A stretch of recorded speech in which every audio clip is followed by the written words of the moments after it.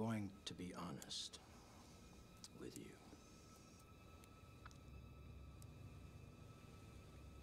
I hate this place. This zoo, this prison, this reality, whatever you want to call it. I can't stand it any longer. It's the smell.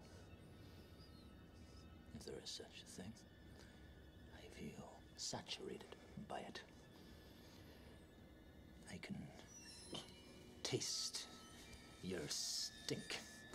And every time I do, I fear that I've somehow been infected by it. It's repulsive, isn't it? I must get out of here. I must get free